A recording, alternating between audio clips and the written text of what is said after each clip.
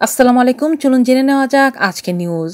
প্রকাশ্যে সড়কে রিফাত শরীফ নামে এক যুবককে তার স্ত্রীর সামনে কুপিয়ে হত্যার একটি ভিডিও দ্রুত সামাজিক যোগাযোগ মাধ্যম ফেসবুকে ছড়িয়ে পড়েছে। ধীরে ধীরে তা ভাইরাল হওয়ার পর নিন্দার ঝড় উঠেছে। এই ভিডিওতে দেখা যায় সকাল সাড়ে দশটার দিকে রিফাত শরীফ ও আয়শা কলেজ থেকে বের হওয়ার সময় চার পাঁচজন তাদের ঘিরে ফেলে। তাদের মধ্যে দুজন রিফাতকে রামদা হাতে একের পর এক আঘাত করে চলেছেন।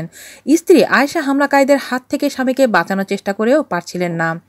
রিফাতকে বাঁচানোর জন্য তার স্ত্রী চিৎকার করলেও আশেপাশে কেউ এগিয়ে আসেনি। হামলাকারী যুবকরা রিফাতকে রক্তাক্ত করে সবার সামনে দিয়েই চলে যায়। পরে আহত অবস্থায় প্রথমে বরগুনা জেনারেল হাসপাতালে রিফাতকে ভর্তি করা হয়। অবস্থার অবনতি হওয়ার পর তাকে বরিশাল শেরেবাংলা মেডিকেল কলেজ হাসপাতালে পাঠানোর পরামর্শ দেন চিকিৎসক। সেখানে ভর্তির এক ঘণ্টা পর বিকাল সাড়ে তিনটার দিকে তার মৃত্যু হয়।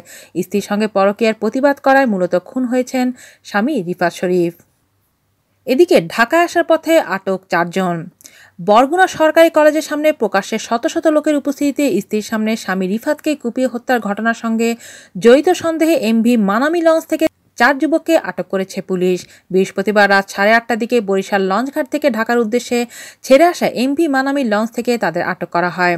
আটককৃত চারজনের বাড়ি বরগুনা জেলার বিভিন্ন এলাকায়। বরগুনায় প্রকাশ্য সড়কে রিফাত শরীফকে হত্যাকারীদের যে কোনো মূল্যে গ্রেফতারের নির্দেশ দিয়েছেন প্রধানমন্ত্রী শেখ হাসিনা। সড়ক পরিবহন ও সেতুমন্ত্রী ওবায়দুল কাদের এ তথ্য জানিয়েছেন। বৃহস্পতিবার সচিবালয় মন্ত্রণালয়ের চলমান উন্নয়ন কার্যক্রম ও সমসাময়িক ইস্যু নিয়ে সংবাদ সম্মেলনে আওয়ামী লীগের সাধারণ সম্পাদক ওবায়দুল কাদের কথা জানান। গতকালের ঘটনা আইন শৃঙ্খলার পরিস্থিতির অবনতি কিনা জানতে চাইলে ওবায়দুল কাদের বলেন, আইন শৃঙ্খলার অবনতি হয়েছে, এটা কি বলা যায়? এটা বিচ্ছিন্ন ঘটনা। রিফা শরীফকে হত্যার জন্য সারা দেশে উঠেছে প্রতিবাদের ঝড়। সর্বস্তরের মানুষের বিচারের দাবিতে সোচ্চার হয়েছেন। আর এই বিচারের দাবিতে এবার যোগ দিলেন বাংলাদেশ জাতীয় দলের ক্রিকেটার মুশফিকুর রহিম। মুশফিক বর্তমানে দু উনিশ বিশ্বকাপ খেলতে ইংল্যান্ডে আছেন। বৃহস্পতিবার বাংলাদেশ সময় বিকেল ছয়টার দিকে তার অফিসিয়াল ফেসবুক পেজে একটি স্ট্যাটাসের মাধ্যমে রিফাত হত্যার বিচার দাবি করেন। ফেসবুকে তিনি লেখেন, আমি মুশফিকুর রহিম। আমি রিফাত হত্যার বিচার চাই।